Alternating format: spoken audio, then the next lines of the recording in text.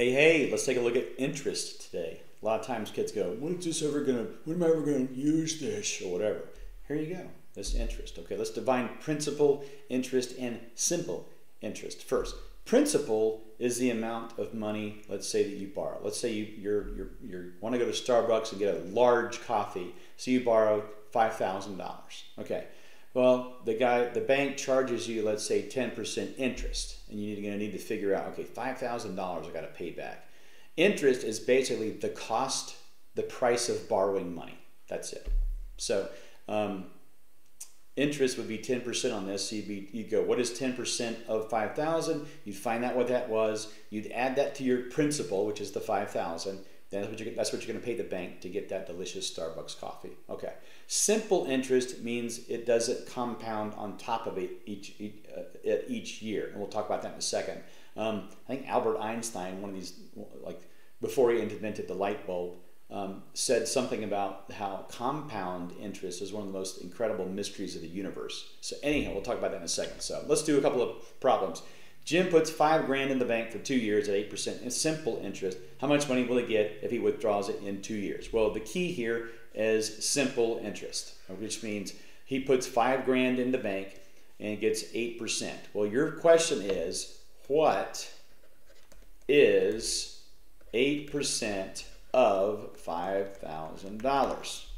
Okay, well, we know how to figure that out as an algebra problem, right? What? X is equals 8% u, u 0.08 of times 5,000. And there we go. Okay. Now here's a trick I'm going to show you. Make sure you know this. All right. Rather than go over here and go 5,000 times 0.08, which you can, it doesn't matter. You know, you can do that if you want to. What you can do is you can go, ugh, I hate these decimals. I'm moving this thing over twice to make this an 8 to make things equal, since you've multiplied this by 100, you're going to have to divide this by 100 or move the decimal over to the left from the other one. So this is the same thing. It's 8 times 50, which is 400. Okay. Simple interest means that he earns $400 each year. So he earns $400 the first year and $400 the second year, which is $800 plus the 5,000. he gets $5,800 in two years. That's simple interest. All right. Let's do another one. 8% simple interest, Maria deposits $800 in the bank. At the end of three years, how much money will she have? Well, the question you're asking is how much or what is 8% of 800? Okay, so you could go, like this. What is 8% of 800? And you do the same trick if you want to. No decimals. I'm moving this over. 8. Oop, I'm going to move this over. There you go. 8 times 8, of course, is 88. No, it's not. It's 64. Okay. So that is what she's going to earn in one year.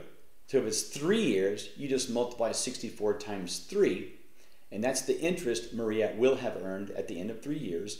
Add that to her, remember what this is called?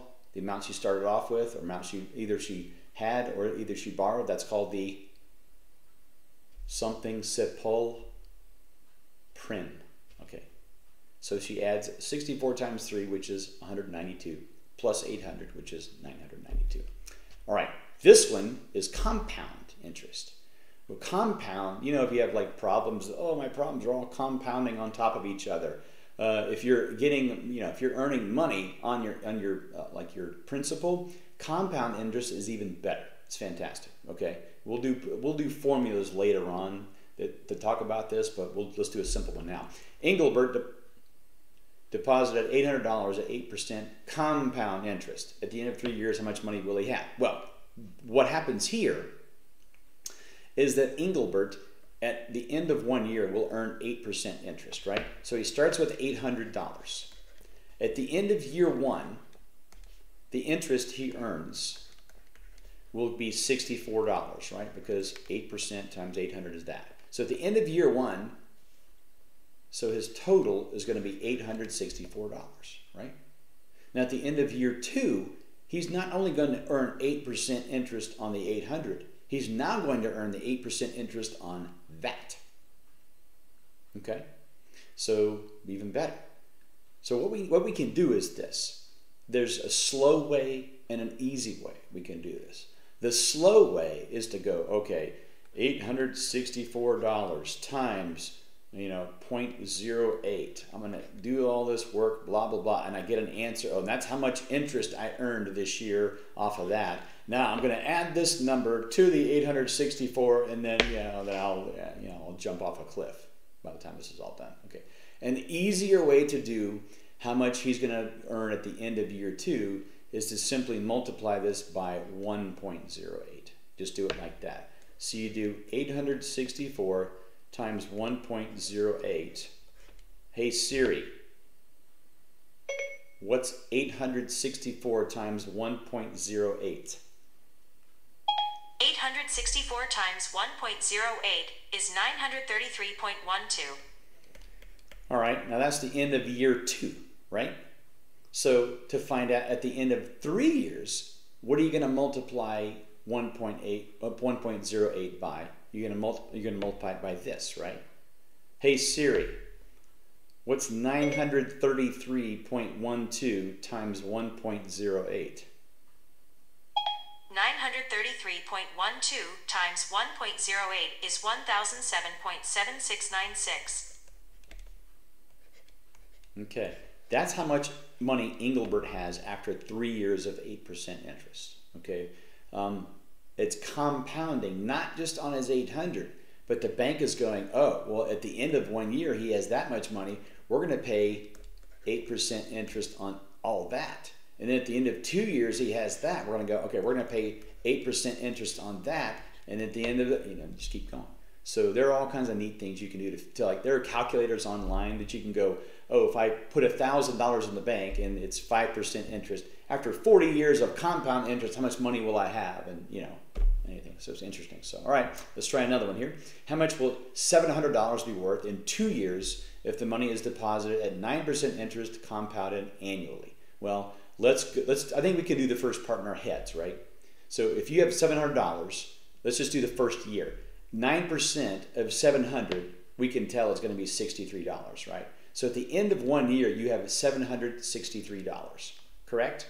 In other words, you have multiplied 700 times 1.09 is what you've done. Okay? Or you've done 9% of $700 is $63 plus $700 is 763. Okay? At the, at the end of two years, now this is what you're going to go, okay, 763 times 1.09. That is going to be your answer at the end of two years. Hey Siri, what is 763 times 1.09?